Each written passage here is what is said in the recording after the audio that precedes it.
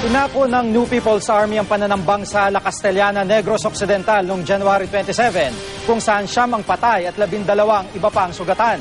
Naunang napaulat na hinarang ng aabot sa dalampung sospek ang grupo ng mga pulis at Barangay Police Action Team. Pinaputukan nilang grupo at kinuha ang mga armas. Ayon sa Western Visayas Regional Police, sinabi raw ng NPA na hindi otorisado ng kanilang mga opisyal ang pag-atake. Isinagawa raw ito ng isang alias Rico ng Guerrilla Platoon of the Negros Island Provincial Committee. Ang NPA humingi ng tawad sa pamilya ng mga namatay. Ngayong araw ang libing ng lima. Ayon naman sa pulisya, mukhang planadong ambush. Hinahunting na raw ang mga taong responsable.